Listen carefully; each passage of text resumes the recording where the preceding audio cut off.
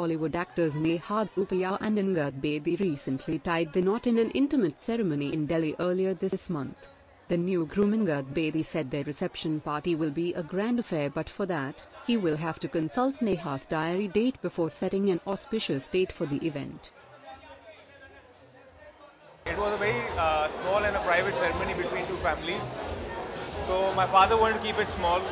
We wanted to keep it small because amongst ने and me we know about fourteen hundred fifteen hundred people तो उन लोगों को सबको अभी अकोमोडेट करने के लिए मुझे नेहा की खुद की डेट लेनी पड़ेगी because she is away travelling अभी वो जोधपुर में।